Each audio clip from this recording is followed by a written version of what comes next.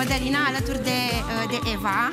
Ești foarte frumoasă, Eva. Ia să te admir așa puțin. Ești ca o prințesică. Foarte drăguță. Uh, Mădălina, am să te... și am să vă invit pe amândouă. Mă se uită la televizor că se vede acolo. Da? Uite, fă așa cu mânuța. Uite așa cu mânuța. Bravo! Ești foarte frumoasă. Uitați, uh, aici Mulțumim. vă invit și uh, pentru micuța Eva am și un cadou. E de la Moș Crăciun, a venit cu întârziere. Nu nimic, niciodată pentru nu e prea tine. Târziu. Cum spui? Poți să te uiți acum dacă vrei. Ia, hai să desfacem împreună cadou, vrei? Da? Ia, ce ai aici? Ia să vedem. Mamă, ce drăguț! Uite, un hanorăcel. Da? Ah, Bombonele. da. Și uh, uite și o păpușică. Uite, te las pe tine, Eva, să desfaci cadou. Te uiți în punguță. Eu cu mami avem uh, lucruri uh, importante de Sigur vorbit. că da. Mădălina, ne bucurăm tare mult că ești în Uh, această Bună țară seara, alături de bine v-am noi. găsit.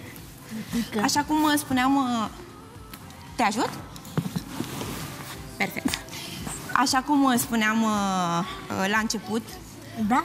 au trecut uh, mai bine de patru ani de când uh, piticul Colorado nu mai este printre noi. Din păcate. Uh, Eva nu a apucat să-l uh, cunoască pe tatăl său pentru că avea doar câteva luni atunci când uh, a murit, Da, din da. păcate. Foarte mică. Cum au fost toți acești ani pentru voi, Modelina? Cum au trecut? Uh, Cât de greu a fost să accepti că nu mai este printre voi? A trecut repede, dar a trecut și greu, uh, că tatăl nu mai este printre noi, s-a pus întrebări, am răspuns, mai greu, dar uh, întrebarea care o, o să mi-o pună mai târziu, atunci am să explic. Acum este prea mică să-i spun ce s-a întâmplat. I-am zis Despre ceea este ce va- s-a întâmplat exact. uh, Mădălina și, uh, despre, și despre motivul uh, morții sale, dar și despre cum au trecut pentru voi toți acești ani. Continuăm discuția, însă după o scurtă pauză. Ne întoarcem rapid.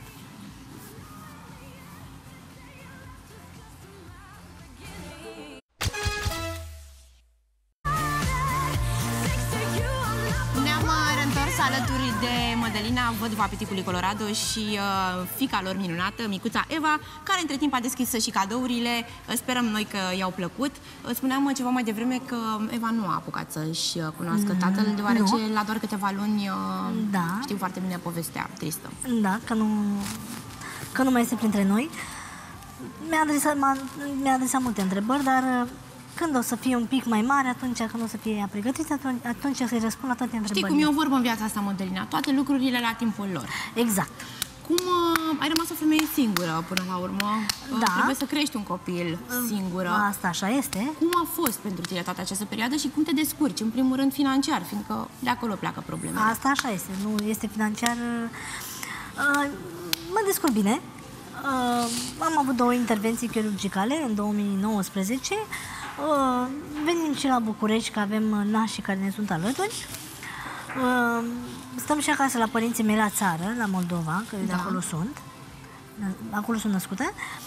Și suntem bine, suntem... Uh, suntem Voi foarte ați bine. făcut uh, și tu, ai făcut carieră la circ. Uh, Circul care, din Da. păcate, Uh, este, nu. mă rog, sau cel puțin în această perioadă a fost uh, Da. închis și evenimentele, spectacolele nu au, nu au nu mai, mai, existat. da, nu mai au loc. Cum, cât de mult îți lipsește și cât de greu ți-a fost uh, cu Foarte bani, mult. cu Vreau să bănuții? spun că acum câteva serii, înainte să vină dumneavoastră, ne-am uitat la filmările de la nuntă, cu nașii, toată familia, la spectacol, la circ.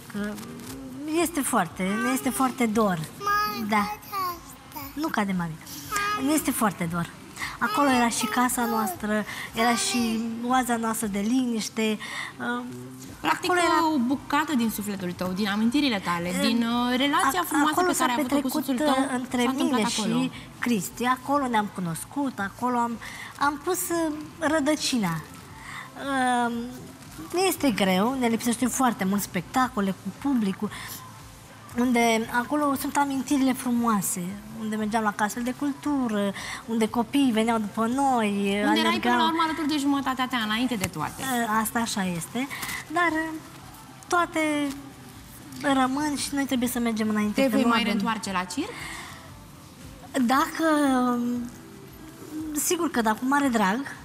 Dacă se va mai vi ocazia și uh, se vor relua Cu mare drag. evenimentele și spectacolele, Cu mare drag. bănuiesc că nu vei spune nu. Nașii mei nu, momentan nu se mai ocupă cu circul. Ei în vară mi-a zis că o să iau un, să fac un... Mami, îți fac? Da, Da, mami, poți dar să desfaci, poți să desfaci cadou. Da, e al tău, iubita. uh, în circul Toredo Uh, vrea să deschidă, să facă un uh, parteneriat și o să facă un uh, pentru copii nevoiași. Uh, pentru că sau, sunt foarte multe... mă descalț? Nu, mami, nu le descalțăm, că aici nu suntem acasă. Imediat, acum rămâi încălțată și te descalță mami imediat, da? Haide, uite-te un pic la păpușele, mami, da? Nu ți este greu cu, uh, cu cea mică? Cine te ajută, Mădălina? Am unele momente în care mi este greu pentru că nu prea am voie să o ridic din cauza la coloană, dar uh, tot timpul am oameni în prejur, persoane în prejur care mă ajută. Cu ce, te, cu ce te ocupi acum? Cum reușești să-și câștigi existența, Mădălina? În momentan sunt acasă uh, pentru... N-are nimic, mami. Uh, Eva este perioada ei de grădiniță și trebuie să fiu mai tot timpul lângă ea. Mami, nu putem acum să desfacem, dar o să desfacem, da? Acum vorbesc un pic și după aia. Cum o desfac? Acasă. Desfă-o. Dacă vrei, poți să desfaci tu acum singurică. Dacă nu, așteaptă pe mami, că te ajută imediat, da?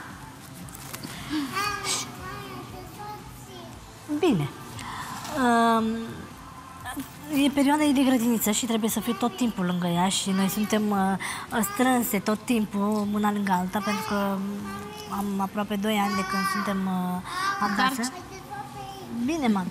Dar cine te ajută financiar, Mădălina? Nu ți este greu să suporți cheltuielile casei, creșterii, educației unui copil? Uh, știți Grădinița, nu știu, hăinuțele. Bănuiesc că e destul de... Uh, Avem, avem un complicat. venit care nu este costisitor, dar ne descurcăm. Avem părinți, ne mai ajută bunicii, uh, suntem ok. Na, și tot timpul am, avem uh, persoane în jurul nostru care efectiv uh, ne ajută și un pic financiar și cu cuvinte și cu de toate. Adică trebuie să depășim toate obstacolele astea, că nu avem de ales. Mădălina, la un moment dat, s- se vorbea de faptul că ai fi avut uh, pe cineva și că ți-ai fi refăcut viața. E adevărat? Mai există acea persoană? Uh, Bravo, bravo! Da, bravo, mami, bine că ai rupt-o. Lasă acolo pe canapea, mami. Uh, am avut pe cineva lângă mine, am, am crezut că persoana de lângă mine, adică este greu, trebuie să ai jumătatea lângă tine, pentru că un copil este greu să... Deci nu mai face parte din viața ta. Uh, nu, nu Ce s-a mai. întâmplat? Nu știu, nu a acceptat faptul că tu aveai un copil, nu, nu ți-a sunt, acceptat uh, trecutul. Nu, nu, nu este din cauza copilului, nu sunt motive. să- Sunt niște motive fi- în care eu sunt încăpățânată și nu-mi plac unele lucruri. Bănuiesc că îți dorești pe cineva în viața ta, pe umărul căruia să mai plângi când mai ai câte o problemă sau care să te mai ajute. Cred că o să orice vină- femeie are nevoie când în o să viața ei la un vină moment dat de un timpul, bărbat. atunci, sigur că dacă orice femeie are nevoie de jumătatea lângă ea, când o să vină timpul, atunci... I-ai arătat poze cu tatăl uh, ei, Evei? Noi în casă avem poze tot timpul cu tatăl ei, că este mai cat clown. Uh, și tot timpul se uită la el, tot timpul zice de tăticuțul meu. Uh, nu am ascuns pozele, nu nimic, le avem tot timpul acolo. Îi- Deși nu a apucat practic să-l cunoască în adevăratul sens al cuvântului, bănuiesc că îi simte lipsa. Un copil cred că simte uh, Uh, sigur mai că mult da. decât oricine. Când am venit aici la București, Ciprian, nașul nostru, a zis Bravo! că, că tatăl ei nu este, dar a simțit, pentru că fetele, nașul, nașul meu, bine, nașii mei au trei fetițe. Și vă dați seama că în casă tati, mami, și ea se uită, dar cred că a reali- nu că a reali- știe ceva că persoana de lângă mine nu este, adică nu există jumătatea. Dar uh, încercăm să, să le trecem cu bine. Mădălina, îți mulțumim foarte mult că ai venit în această seară la Mulțumesc noi. și eu cu mare Uh, drag. Te lăsăm uh, să pleci acasă cu micuța Eva, care trebuie neapărat, e foarte nerăbdătoare, vrea să deschidă Da, cutia cu păpușelele, păpuși foarte și să te multe joci, păpușele Eva, să avem te acasă. joci și să fii cu o fetiță cu minte, da? Te pupăm, pa!